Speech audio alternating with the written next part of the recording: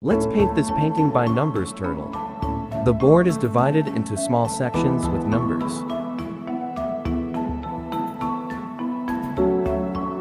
Paint the larger one color areas first.